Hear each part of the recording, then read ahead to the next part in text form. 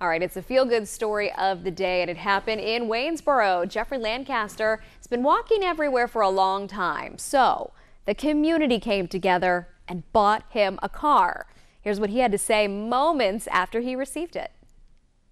a feeling like no other, just knowing that the community do care, you know, somebody in the community care about other people.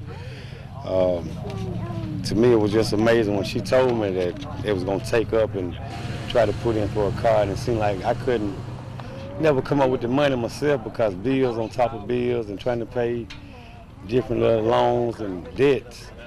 I couldn't ever come up with the money, but I mean, I guess God just saw fit to where he, he's tired of me walking.